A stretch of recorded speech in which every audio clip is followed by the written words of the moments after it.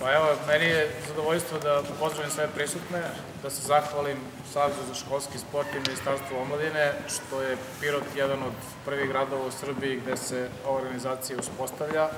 Ja se nadam da je ona isključivo namenjena deci. Kao što ste čuli, rezultati su u drugom planu. U prvom planu je da se probodi interesovanje za, kod dece za bavljanje fizičkom aktivnošću,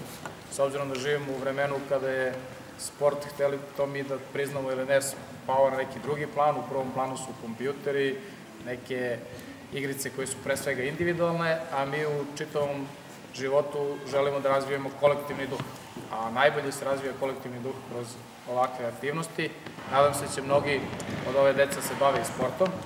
jer u vremenu kada mislimo da je sve lako, sport jedini pokazuje da nije baš lako kroz uspeti kroz život, kada su deca previše zaštićena, sport ih uči i gubitku i porazu, to se teško uči kod kuće, svi mi previše štitimo svoju decu, a na sportskom planu ono mogu da nauče i da gube, znaju ko je najbolji,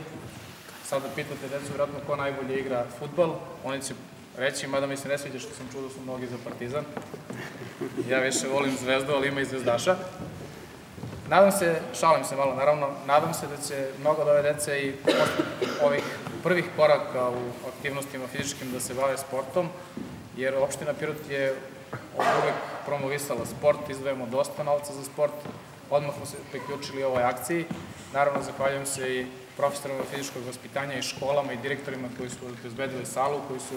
naravno prepoznali ovu akciju, a pre svega se nadam da će roditelji shvatiti značaj ove akcije i da se deca uživati. Dakle, ovde nema takmičenja, ovde ima druženja i uživanja i ovde je neka pravljenje baze za, za sport u kasnijem dobu.